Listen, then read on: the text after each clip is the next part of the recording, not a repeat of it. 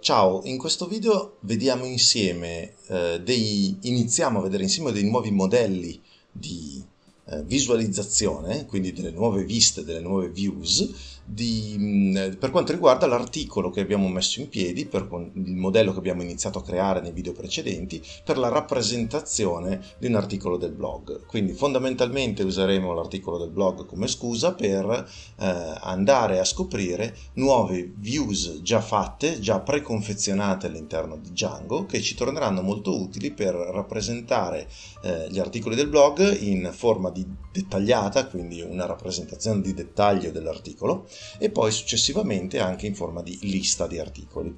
Eh, per eh, avere un, un, riscontro, un raffronto con la documentazione ufficiale, possiamo andare eh, nella pagina della documentazione ufficiale di Django, andare a cercare la, le parole chiave generiche class based views, eh, tanto per fare l'esempio da zero, class based views, ecco qua, ops ho sbagliato a scrivere. Views, views. ok. Come vedete viene fuori un elenco abbastanza corposo di possibili pagine di documentazione da guardare perché l'argomento è molto molto vasto. Eh, inizieremo a, a, prendere in esame solo alcuni di tutti questi temi. Eh, nella fattispecie vi consiglio di approfondire la lettura partendo da Class Based Views, il primo dell'elenco, nella sezione Using Django, adesso lo apriamo in un'altra scheda, poi andiamo a vederlo, e successivamente invece ci baseremo su Built-in Class Based Views API, che fa parte dell'API Reference, quindi vai, questo possiamo aprirlo direttamente. Come vedete nella Built-in Class Based Views API abbiamo un elenco di tutte le viste, le views disponibili preconfezionate all'interno di Django. Come vedete sono tantissime, tantissime e con vari eh, scopi, funzionalità.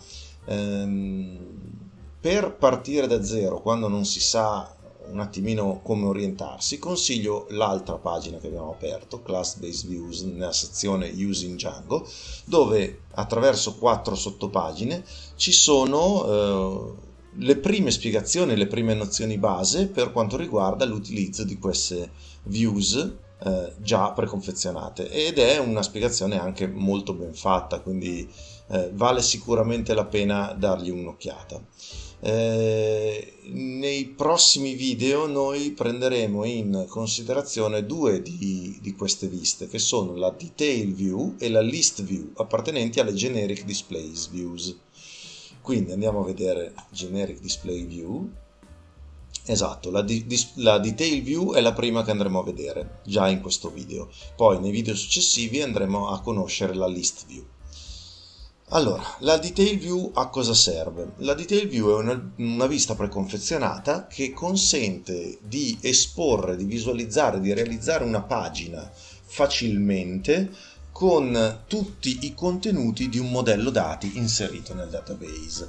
Noi abbiamo realizzato l'altra volta il modello article contenente tutta una serie di campi, titolo, slug, image, eccetera, eccetera, e abbiamo già realizzato una sorta di interfaccia lato admin, lato amministrativo, che è eh, abbiamo scoperto ci permette di creare molto facilmente e molto velocemente un form in cui inserire i contenuti nel backend. A questo punto ci manca da scoprire come creare e mandare una pagina rappresentativa dell'articolo nel front-end e per questo useremo appunto la detail view. Ora, ehm, non c'è come vedete molto da leggere nella parte diciamo della API reference. Più che altro ci sono dei rimandi alle spiegazioni di dettaglio di tutta una serie di chiamate eh, caratteristiche che sicuramente vale la pena approfondire. Alcune di queste le vedremo già nel dettaglio eh, facendo il nostro esempio pratico. Come vedete eh, la pagina di spiegazione è molto ben fatta riporta già come creare una generica view come, come collegarla tramite URLs a, al resto dell'applicazione e, e, come fare a impostare un, un, un template di, diciamo, per utilizzare questa view. Seguiremo grandi linee questi tre passi, però un po' più diciamo a modo nostro. Allora, Mm, abbiamo detto questo è il model, dobbiamo andare a realizzare prima di tutto una view che rappresenti questo model. Quindi ci spostiamo nel file views.py della nostra ovviamente app articles. Ah, ehm, ovviamente una eh, vista superficiale di tutto quello che andremo adesso ad approfondire l'abbiamo già avuta, l'abbiamo già eh, fatta in passato. E se andiamo a vedere l'app landing page, il file views di landing page, quando abbiamo creato la landing page view, che era una class based view appunto, se mh, mm, vi ricordate abbiamo ereditato da una vista preconfezionata chiamata template view, che ci ha permesso di creare l'home page in 448. Il principio è lo stesso, semplicemente adesso andremo ad approfondire un po' di più questa, questo meccanismo e andremo a uh, esaminare più che altro dei modelli di view differenti da quelli che abbiamo usato finora. Quindi torniamo pure alla view di articles. Um, la prima cosa da fare è andare a importare nel file uh, in questione, nel file eh, views.py, il, la, la view che vogliamo utilizzare mm, per renderla disponibile. Quindi cancelliamo il commento. From le views, per fortuna il percorso è abbastanza autoesplicativo, tuttavia qualora non ve lo ricordaste a memoria, cosa che per esempio io non ne ricordo mai uno a memoria, potete andare a verificarlo facilmente nella documentazione. Per esempio, andate, andate, volete usare una detail view, andate a cercare la detail view e come vedete nell'esempio pratico c'è scritto chiaro e tondo che cosa bisogna andare a importare. Quindi from Django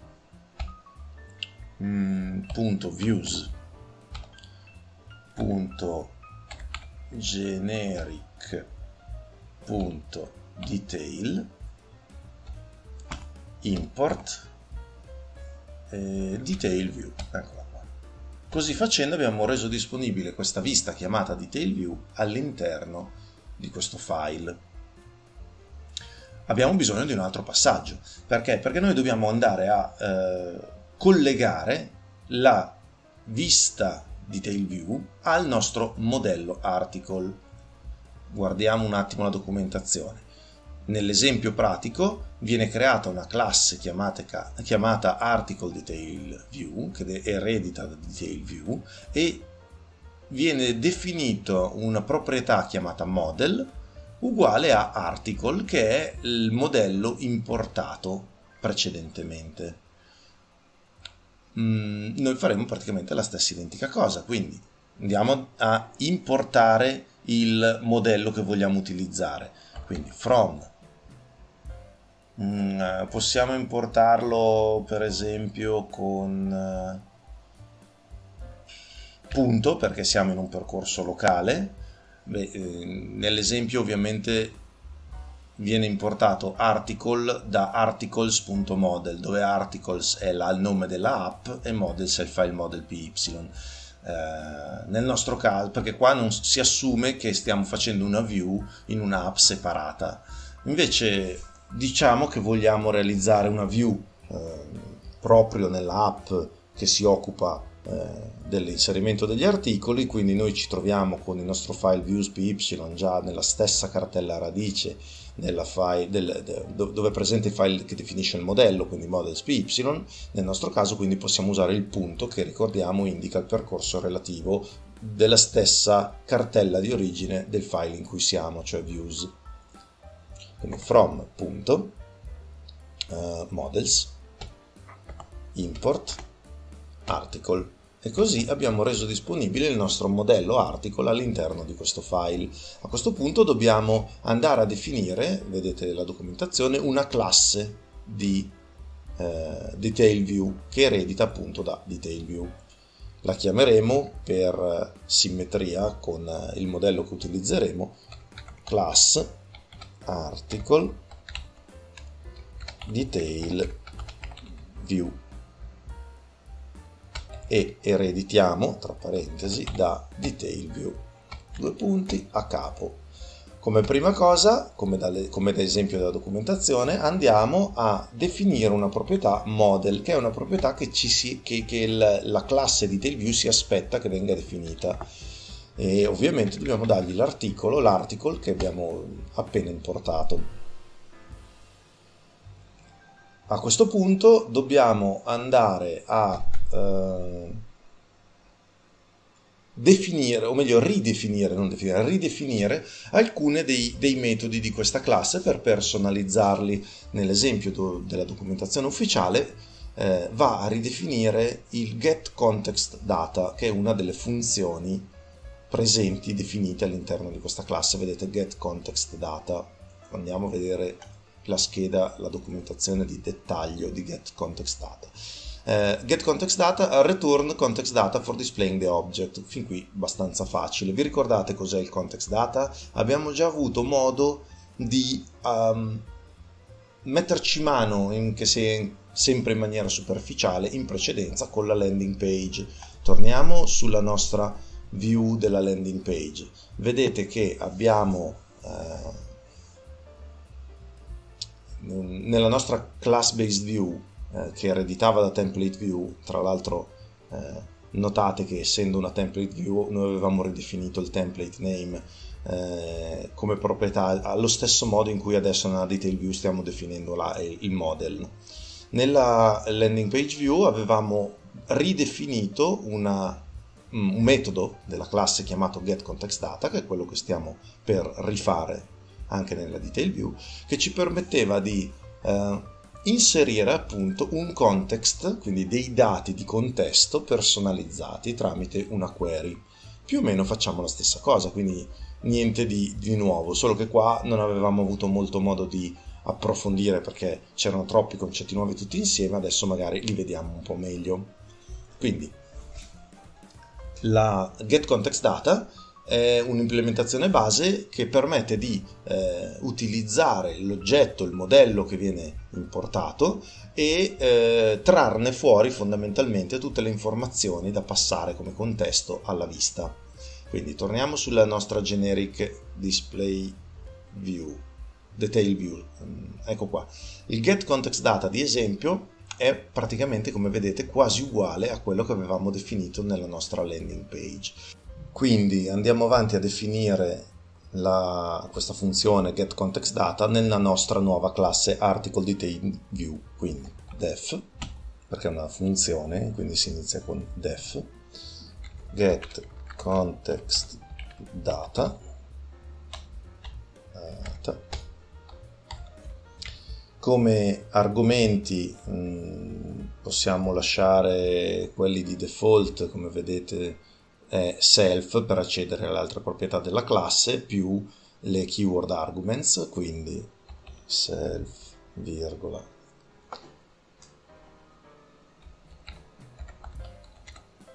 quarks, ok, due punti.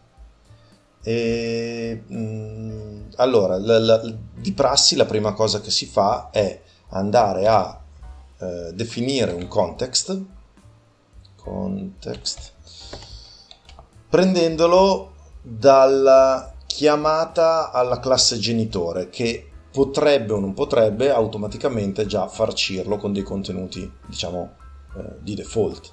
Quindi si chiama super che è il modo di accedere alla classe genitore da cui stiamo ereditando quindi la detail view. Super eh, punto get context data perché appunto noi la stiamo ridefinendo nella nostra classe article detail view. Ma questa funzione è, questo metodo è già definito nella classe padre. Quindi se noi non lo ridefinissimo di fatto verrebbe chiamato il context data della classe padre e basta. Ridefinendolo noi possiamo andare a intervenire su questo context per modificarlo. Però invece di crearlo da zero escludendo qu- quanto avrebbe riempito quanto avrebbe messo dentro la classe padre quindi detail view noi prima lo inizializziamo con il contenuto generato dalla classe padre per poi estenderlo ulteriormente. Questa è una procedura abbastanza standard quando si ereditano delle classi. Eh, e ribaltiamo le keyword arguments quarks. Perfetto. a questo punto possiamo andare a fare le eventuali aggiunte al nostro context quando e come vogliamo, lasciamo dello spazio, poi ci torniamo dopo e facciamo return um, di context, perché ovviamente il, con- il get context data deve restituire un context.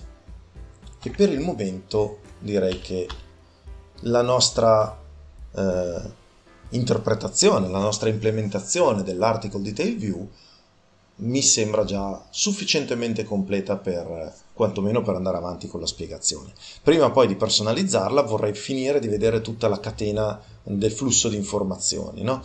Mm, eh, vi ricordate come funziona il flusso dati all'interno di Django? Funziona così, il browser chiamerà uh, una determinata pagina tramite gli URLs, ad esempio nel momento in cui siamo su l'home page, eh, lo URL è questo, localhost 8000 con CBS, che poi adesso andiamo magari a togliere che ormai fa parte dei video vecchi, non ci serve più. Eh, questo URL viene interpretato dal file URL principale, eh, quello della, della, del progetto, dove eh, vengono smistati gli indirizzi in base a determinati criteri se non ci sono eh, particolari richieste che combaciano andiamo a rigirare come vedete qui i percorsi che non hanno chiavi di, di, URL, chiavi di ricerca specifiche vengono rigirati su un altro percorso che viene incluso da landing page URLs quindi andiamo a vedere landing page URLs eccolo qua. E qui abbiamo se la chiave di ricerca dell'URL corrisponde a CBS, allora chiamiamo la nostra view landing page view as view e qui dobbiamo fare la stessa identica cosa anche per la nostra detail view. Quindi, mm, poi le collegheremo insieme agli altri nel, in un percorso più organico. Per il momento ci limitiamo solo a fare una vista generica. Mm, quindi, torniamo in URLs non del progetto, non della landing page, ma della nostra articles. Quindi URLs non c'è, non c'è, dobbiamo crearlo. Tasto destro, new file, urls.py,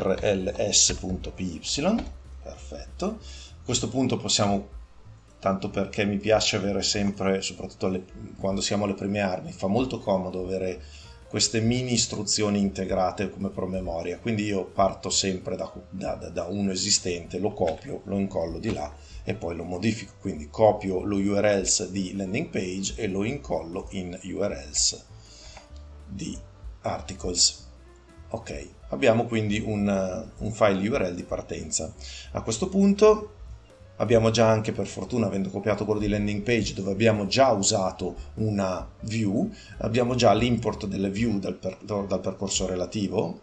Quindi in questo caso staremo importando le views di articles e non le views di landing page usando il punto.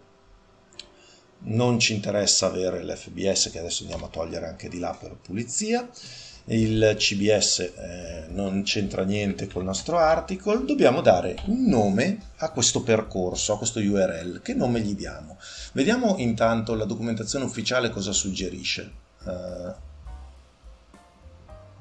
dunque, facciamo un po' di pulizia, ho aperto un sacco di, di pagine, perfetto. Questa è quella della detail view, ottimo. Nella detail view, nell'esempio di URL, lui cosa fa? Va a... Um, utilizzare come percorso slug due punti slug tra maggiore e minore. Che cosa vuol dire questa sintassi?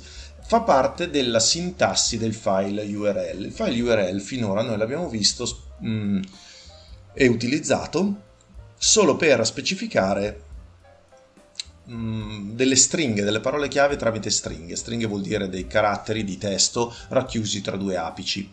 Andiamo a vedere quello della landing page. Come vedete è una stringa di testo scritta da noi di tre caratteri più lo slash che è il carattere terminale che si mette praticamente sempre. Andiamo a vedere quello generico, URLs eh, del, del progetto. Anche qui sono stringhe generiche classiche. Tuttavia eh, Django permette l'utilizzo di particolari costrutti, particolari parole chiave all'interno della, eh, del primo campo di path per identificare delle, mh, mm, delle stringhe delle parole chiave che compongono l'indirizzo che non sono ancora note, ma che vengono costruite sulla base dell'oggetto che si sta utilizzando. Quindi è un po' complicato, sarà più facile appena lo vedremo messo in pratica fondamentalmente. Andiamo a chiudere quello che non serve. Nel nostro model esiste un, una property chiamata slug che è del tipo slug field. Noi possiamo utilizzare questo slug appunto ed è una prassi da fare di solito quando si visualizzano articoli o pagine eh, utilizzare lo slug che è fatto apposta per lo scopo, ehm, utilizzeremo lo slug per comporre lo URL. Dato che noi lo slug non lo sappiamo a memoria e comunque non possiamo inserire uno slug differente in URL patterns per ogni articolo che scriviamo, eh, utilizzeremo un costrutto specifico, quindi minore slug, due punti, slug, maggiore, e se non vedete ho semplicemente scritto quanto era già scritto nella documentazione ufficiale, c'è sempre lo slash finale, eccolo qua. Eh, cosa vuol dire questa, questa stringa? Vuol dire che il campo tra maggiore e minore non è da interpretare come caratteri scritti da noi come era nei casi precedenti che abbiamo visto, ma è da interpretare come una variabile da sostituire con un determinato significato. Questa variabile di che tipo è? È una variabile di tipo slug e conterrà la proprietà dell'oggetto chiamata slug. Se voi non aveste chiamato nel vostro model, non l'aveste chiamato slug ma Pippo, qui avreste dovuto mettere slug 2.pippo per esempio. Poi andiamo a vedere un attimino meglio come si trova la documentazione in merito a questa struttura di questa forma di, di scrittura. Quindi Diciamo che per il momento abbiamo scritto qualcosa di poco comprensibile ma che a breve vedremo come funziona. Sappiate solo che stiamo riferendoci quindi nello URL a una variabile di tipo slug che conterrà appunto lo slug dell'articolo. Dopodiché chiameremo views, quello importato, il nome della classe che stiamo importando, facciamo finta di partire da zero, cancelliamo tutto, quindi views. article detail view, che è la nostra vista, punto, as view e le due parentesi perché è una funzione.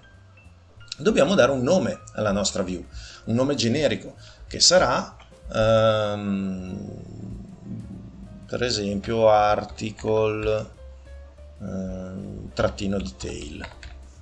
Vediamo come lo chiamava nella documentazione ufficiale. Vabbè, ah uguale, article detail, come l'ho detto, va benissimo. Name uguale article detail. A questo punto il nostro mh, mm, file URLs della, dell'app Articles è completo. Prima di andare avanti spendiamo ancora un minuto su questo costrutto perché vale la pena. Andiamo nella documentazione ufficiale di, di Django, andiamo a aprire una pagina nuova di documentazione, andiamo a cercare URLs, eccolo qua, URL, URL dispatcher, andiamo a vedere se ho beccato al volo la pagina giusta. Qui, ecco qui già nell'esempio potete vedere altri modi sì questo è utile. Allora, eh, in questo esempio potete vedere già altri modi creativi di utilizzare le, le, questa potenzialità di, di, Django. Per esempio, mh, mm, può essere utilizzata, voi dovete immaginate di dover mettere una list view di articles di un certo anno, filtrati per un certo anno. Può essere scritto ovviamente in chiaro come abbiamo sempre fatto. In alternativa potete scrivere article slash e usare ancora questa costruzione tra maggiore e minore dicendo seguirà una variabile di tipo intero chiamata year, in cui ovviamente qualcuno passerà un anno. Quindi il concetto se nello URL ci sarà scritto 2003, eh, lo URL scritto in questo modo andrà a interpretare il 2003 come una variabile di tipo intero da ricercare in una proprietà dell'oggetto chiamata year. Allo stesso modo potete andare avanti a classificarlo in vari modi, per esempio potete fare uno URL composto da year, month, sempre come intero intero, e poi slug. E quindi come vedete potete comporre a piacimento gli URL mh, variegati eh, senza bisogno di scriverli esplicitamente tutti, ma facendoli comporre direttamente sulla base di che cosa viene interpretato. Ripeto, sarà più chiaro poi con degli esempi pratici. Quante e quali possibilità ci sono di identificare questi path? Si chiamano path converters, quindi convertire partitori di percorso, diciamo in italiano. Potrebbero essere di tipo str, cioè stringhe di testo, di tipo int, numero intero, di tipo slug, che appunto abbiamo scoperto essere un field apposito, eh, potrebbero essere di tipo UUID, che è un eh, identificativo alfanumerico univoco, e, oppure di tipo path. Mm, fondamentalmente non sono tanti tipi come vedete e sono in genere ricadiamo quasi sempre in questi casi quindi coprono un po' tutte le esigenze. Ok non voglio spendere troppo su questo torniamo sulla nostra detail view perché abbiamo definito la view abbiamo definito lo url che dovrà interpretarla anche se per il momento non abbiamo ancora collegato lo url di di articles nostra, al nostro progetto, poi lo faremo, e per finire avremo eh, da definire un template che dovrà visualizzare il nostro articolo. Eh, per esempio, mh, mm, questo è interessante, potremmo iniziare a creare un template all'interno di Articles. Vi ricordate, in landing page abbiamo creato una sottocartella templates, in cui un'altra sottocartella con lo stesso nome dell'applicazione per non creare confusioni con i nomi dei file e poi i nostri template. Questa è un'ottima occasione per introdurre un argomento che è successivo. Quando abbiamo affrontato il discorso dei template view e dei parcels, abbiamo iniziato a creare dei piccoli blocchettini di codice da ricomporre. Ci manca un ultimo passaggio che non abbiamo ancora visto e lo vedremo quindi nei prossimi video di estendere il template base con nuove funzionalità o nuove caratteristiche e lo faremo proprio usando la nostra app Articles. Per il momento limitiamoci a creare un template base, quindi tasto destro, new folder, creiamo la cartella templates slash articles e questa è la doppia cartella, quindi la cartella templates che contiene la cartella articles. Dentro qui, tasto destro, new file e lo chiamiamo, visto che abbiamo chiamato la view article detail, lo chiamiamo article detail. Eh, fate un po' attenzione eh, qui è un po' complicato, però fate attenzione a come chiamate i file. È convenzione, è prassi che non si usi di solito, eh, poi eh, anche qui so che ci sono diversi approcci, però io tendenzialmente uso sempre l'underscore per i nomi dei file, mentre tendenzialmente uso il trattino, quindi il trattino alto, il meno fondamentalmente, per quanto riguarda nomi composti eh, all'interno invece del codice che non rappresentano dei file. Um, non è strettamente necessario il trattino alto qua, si può usare l'underscore tranquillamente anche all'interno della eh, come si dice anche all'interno de, de, del codice però per i file invece è importante usare l'underscore perché Python non riesce a seguire dei percorsi composti con il trattino all'interno, non è eh, accettato come carattere o perlomeno mh, mm, si complicano parecchio le cose, invece l'underscore viene interpretato senza problemi. Detto, ops, detto questo, abbiamo creato tutto. Abbiamo il nostro blocchettino article detail in cui adesso andiamo a copiare l'esempio preso dalla documentazione ufficiale, CTRL C, CTRL V, poi andando avanti ovviamente lo andiamo a personalizzare, formattare, anche perché così su due piedi potrebbe anche non funzionare. Tanto per dire esiste un now che noi non abbiamo, quindi questo now andrebbe già tolto.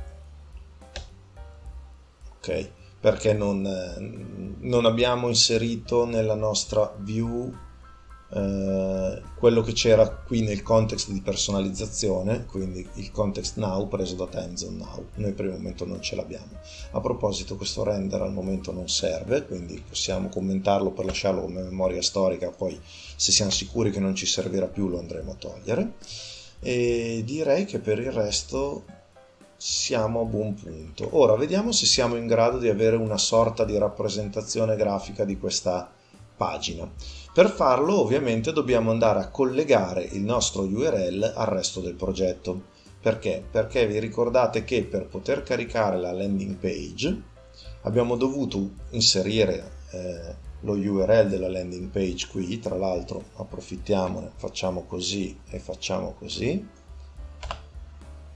Ho fatto una piccola pulizia, ho commentato la, la vecchia function based view, ho lasciato solo la class based view, eh, togliendo la parola chiave in modo che ci si arriva senza inserire nessun percorso particolare verifichiamo che il nostro server sia attivo e non ci siano errori ed è tutto ok, andiamo nella pagina del server, togliamo questo CBS che non serve più, andiamo direttamente in localhost 8000 e come vedete carica la pagina senza problemi. Ok, quindi eh, questa è stata quest'ultima modifichina. A questo punto vi ricordate che nello URL del progetto, questo, abbiamo fatto sì che se non è specificato nessun percorso, si va a chiamare fondamentalmente eh, gli, gli URL della landing page. Mm, adesso faremo un'ulteriore distinzione nel file di progetto. Andremo a dire, per esempio, che, allora, ricordatemi sempre la virgola in fondo a ogni riga, path, e diremo che articles slash. Quindi con questo prefix, con questo prefisso, andremo a includere articles, sempre tra apici perché è un percorso, articles.urls, salva, perfetto. E così facendo siamo andati ad aggiungere un, un, ulteriore percorso di smistamento nello URL principale del, del, del nostro progetto, dicendo che se c'è il eh, prefisso nello URL articles, allora deve andare a guardare negli URLs di articles. Gli URLs di article poi smisteranno in base allo slug. Ora vediamo come fare un tentativo di visualizzare questa, questa pagina, se non ho fatto errori, eh, però il server sembra felice. Allora, se noi andassimo a scrivere semplicemente qua slash articles, articles, articles, piacerebbe sapere come non far comparire tutto lo storico dei, dei siti e pagine su cui lavoro o che ho visitato che danno un po' fastidio. Ok, come vedete se io vado a scrivere semplicemente articles mi viene fuori un errore di page not found, però dato che siamo in modalità debug viene suggerito le possibili alternative. Come vedete, una delle alternative è quella che interessa a noi, la numero 3, articles slash slug. Quindi questo è uno dei percorsi possibili da questo punto. Ora, dato che non abbiamo ancora la generazione automatica dei link delle pagine che metteremo più avanti, come facciamo a ottenere uno slug? Andiamo nel sito amministrazione. Sito amministrazione avevamo già aggiunto l'interfaccia ad articles. Abbiamo già inserito degli articoli campione, tipo primo articolo 001, tanto per dire, lo apriamo, aprendolo vedete lo slug, lo copiamo, torniamo alla nostra pagina, aggiungiamo CTRL V primo articolo, slash, invio ed eccolo qua. Ora, ovviamente il contenuto è vuoto perché non abbiamo finito di, di, di collegare il nostro template al, alla base dati, mancano ancora dei passaggi. Però intanto, come vedete, la catena dello URL che riceve questo indirizzo sa che c'è dentro il prefix, questa è la radice, localhost 8000 è la radice, non viene considerata perché è l'accesso al server. Poi da qua entriamo nel progetto. Il primo URL di progetto, che è questo, dice, eh, chiedo scusa, è questo, va a controllare subito dopo la radice che cosa c'è. Potrebbe esserci admin, potrebbe esserci niente o potrebbe esserci articles. Se c'è articles, e in questo caso c'è articles, allora lui sa che deve andare a vedere gli URLs di articles. Andiamo nello URLs di articles e ci deve essere uno slug. Noi abbiamo messo uno slug Ovviamente potevamo scrivere qualsiasi cosa, ma se avessimo scritto qualsiasi cosa, ehm, Django sarebbe andato a fare una ricerca eh, di, di quello che noi avremmo scritto qui all'interno degli slug disponibili per gli article del database. Non avrebbe trovato niente, avrebbe dato errore. Invece noi abbiamo scritto uno slug eh, valido, eh, Django lo trova nel, nell'elenco del database e quindi ci va a riportare fondamentalmente il template correlato a questa article detail view. Ovviamente in questo momento l'article eh, non contiene niente, ma solo perché, perché non, non abbiamo corretto i campi da evidenziare, perché abbiamo per esempio headline, noi non l'abbiamo chiamato headline, l'abbiamo chiamato title, se ricordo bene nel nostro modello il campo del titolo. Vediamo, sì, title l'abbiamo chiamato, e il corpo dell'articolo l'abbiamo chiamato body, quindi object.body. Poi reporter non l'abbiamo chiamato reporter, l'abbiamo chiamato author, quindi object.author e object.pubdate noi invece l'abbiamo chiamato published quindi object.published salviamo ricarichiamo F5 ecco qua che compare primo articolo 001 che è il titolo del nostro articolo. Questo pasticcio che avevo buttato dentro se vi ricordate qui nel, nel body del, del, nostro articolo. Il, il, eh, qui c'è ancora scritto reporter andrebbe cambiato in author salva, F5, ecco qua, author admin, published 3 luglio 2020, che è quando avevamo inserito questo, questo articolo nel database fondamentalmente. E come vedete, in relativamente poco sforzo, tutto sommato eh, in non troppo tempo, siamo in condizione di inserire i nostri articoli tramite adesso ho aperto troppa roba fatemi chiudere un attimo così ripercorriamo il per, eh, tutto il percorso. Partiamo dall'inizio. Abbiamo generato un nuovo modello articolo da questo modello articolo abbiamo creato un'interfaccia amministrazione che ci permette tramite il sito amministrazione di inserire nuovi articoli nel database a questo punto abbiamo creato una nuova view ereditata da Detail View che va semplicemente a implementare il model article senza che abbiamo aggiunto nulla di specifico. Per il momento abbiamo re, re, eh, reimplementato il get context data anche se di fatto non ci abbiamo fatto nulla di nulla, quindi tecnicamente potevamo anche non farlo questo passaggio, è solo una preparazione per quello che verrà dopo. Ehm, una volta creata la detail view abbiamo aggiunto a URLs la nostra detail view con un percorso costruito sulla base dello slug e abbiamo collegato i nostri URL della app articles allo URL dell'applicazione generale. Con tutto questo siamo in grado di inserire articoli e vederli visualizzati in una pagina. Ovviamente in questo momento dobbiamo scrivere a mano il percorso, ma a breve vedremo come fare in modo di, di generarlo Mm, automaticamente. Direi che però per questo video è tutto perché è già durato abbastanza, abbiamo messo un sacco di carne al fuoco, abbiamo sicuramente approfondito molti aspetti che nella landing page avevamo visto solo superficialmente e ne abbiamo introdotti di molti altri che dovremo approfondire molto di più, ad esempio tutta la parte del template con questi costrutti che non abbiamo ancora esaminato per accedere ai dati del, del, dell'articolo, del model. Um, quindi per il momento teneteli in stand by le domande sul template perché sicuramente uh, andremo a fare un approfondimento nei prossimi video. Per il momento è tutto, vi ringrazio per l'attenzione e ci vediamo nel prossimo video.